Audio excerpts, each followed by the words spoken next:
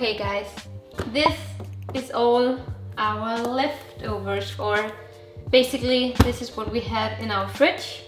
But we got some sweet potato, some asparagus, broccoli, lemon, chives I think, chives, chives, I don't know what they call it, chives I think, sour cream, some spice mix, red cabbage, cabbage, spring onions I believe is the name, and then we got some cheese. The herbs that I'm gonna use is salt, pepper as well, cumin and chili flakes. Let's get to it. One of the things that I always struggle with with Joen is to have him eat salad. But I have come to learn that whenever I just roast the salad, he'll eat it. Are you ready to see how we make the roasted stuff? First we got the asparagus here and you're not supposed to eat the, the end of them. So what you actually just do is that you bow them and then they will break at the point that should be trashed. So I'm just gonna do that with all of them. So this is what we wanna use from the asparagus. Because they're going in a salad, so obviously you want them to be chopped. Broccoli!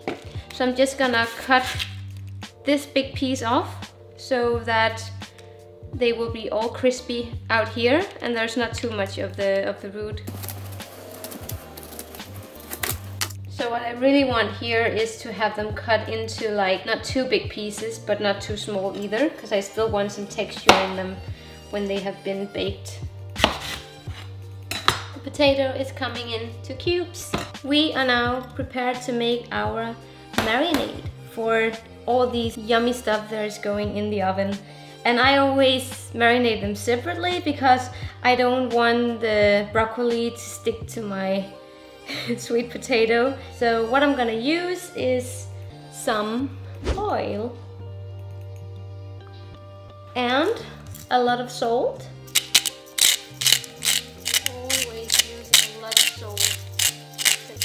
That's what makes it crispy along with the oil. Chili flakes. And you just use as many chili flakes as you wish to. Never forget the pepper.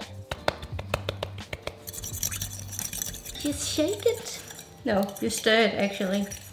Actually, I just decided on putting some garlic powder in as well. Before we do anything, we need to set the oven 200 degrees 200 degrees Celsius. And I don't know hot air I don't know what you call it. Like in Denmark you would say if I translate it from Danish it's hot air but it looks like this. That. Put your delicious sweet potatoes on. Look at these babies. So I'm just gonna let the oil soak in while I prepare some meat so when you use a lot of greens and there is some waste of it, you should actually save it so you can cook a fung for a nice sauce or glass or something. I have this like marinade, the leftovers of that as well. So I'm just gonna put it down here. And then later on, we will see how much there is and I will boil it. I remove all the greens again. I will reduce the rest and use it as a glass, but not today, another day. Okay, so for these stuffed chicken, I'm gonna do like a little something something to put in them. And this, that's gonna be based on this lovely cheese. So basically I'm gonna chop some cheese, I'm gonna chop some garlic, use some chili, and some of this, basically just a Tex-Mix.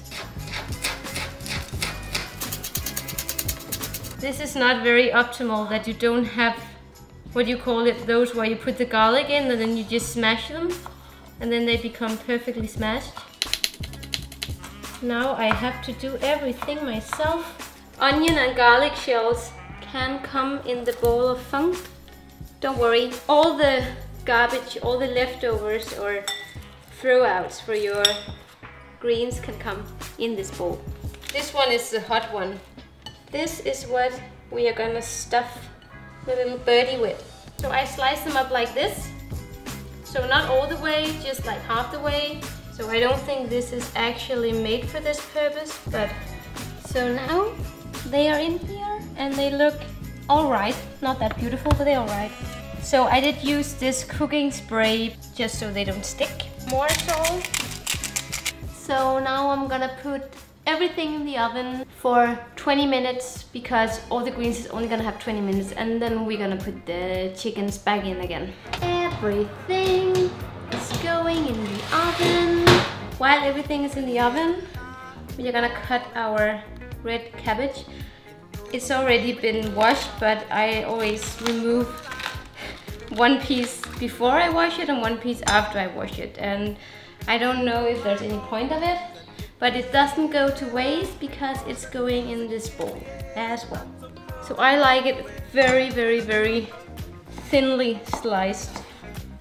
So I don't know how many people use this technique, but actually if you hold your fingers like this on whatever you're cutting, the knife will go with your fingers down without cutting them. So if you chop very fast, the risk of accidentally cutting down to your finger is minimal. So here it is, and it is quite thin, just like we want it to be. Just gonna put it in this. I still want the salad to be a bit fresh. Just squeeze half a lemon into the big bowl.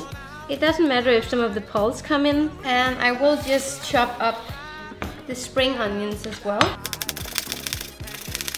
The reasons why I love spring onions is because they do add some dimension to, to the food, but still it's not like it has such a strong and powerful taste that it ruins the taste of all the other ingredients. Let's check our greens.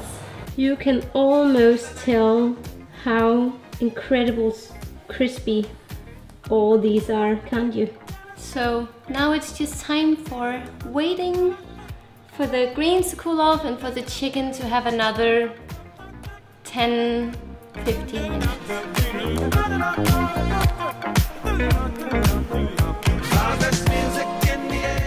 Wait! All our greens are cooled down now. So, are you ready to put stuff in here? Look how yummy it is. So here we got our sweet potatoes. It's so colorful, I love it and our asparagus and finally the popcorn chips. Mix it together with your fingers. So this is now ready to be served but we definitely need a little something something for our chickens. And therefore I will make like a super super easy dressing. Creme fraiche a little bit of cumin garlic a slightly bit chili well, this is basically an everyday healthy meal. So it's not that it's anything fancy that you should serve to your guests if you're having a dinner party. It's more like what you should eat on a daily basis. Foodie, foodie, foodie. This is what this woman does best, cooking. Mm. Mm. mm. I'm, even, I'm not even exaggerating this. You sure? Like, yeah, I'm okay. sure. Like lately you have just outdone yourself.